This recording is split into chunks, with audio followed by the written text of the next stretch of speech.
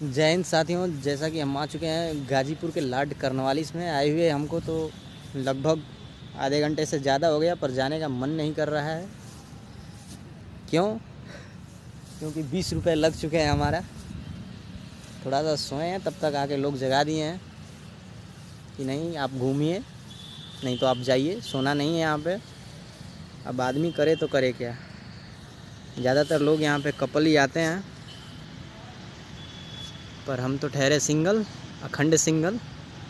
तो कपल लाए तो लाए कहाँ से और बीस रुपया दे दिए हैं तो हम जाएँ क्यों? थोड़ी सी फ़ोटोग्राफी कर लेते हैं।